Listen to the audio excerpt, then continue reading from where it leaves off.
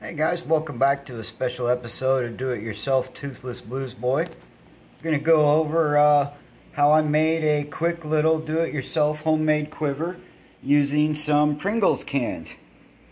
So, what I do is cut the bottoms off of those and I taped them all together, and I've got a nice little arrow tube there.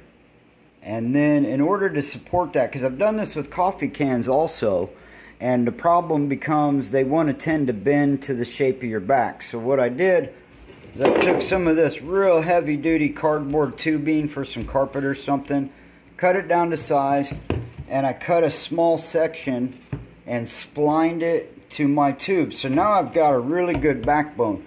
And this will face, my backbone will face outward to the world so it's not up against my back or getting absorbent sweat or anything.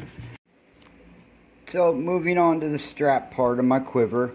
This uh, Hoyt bag naturally had a little hollow tag and so I ran a nice piece of elastic all the way through there and then wrapped it around, tied it off. And this comes all the way down. This would be my chest strap, comes all the way across my chest.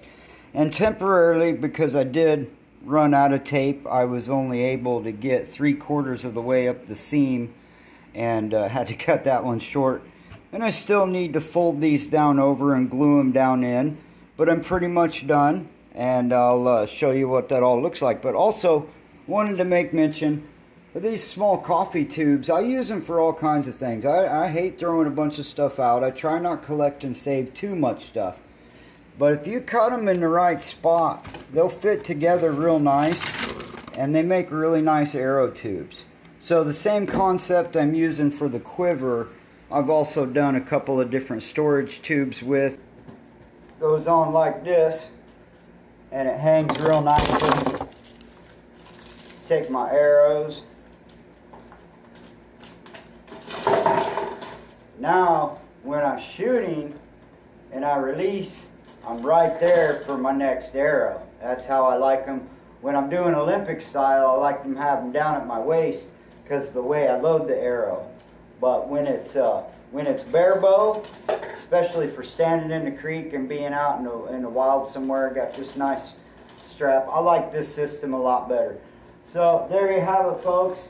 That's the official do-it-yourself bare bow homemade quiver. Hope you enjoyed my insanity today. Remember, it's only going to get better unless you make it better. So go make it better, folks. Take care.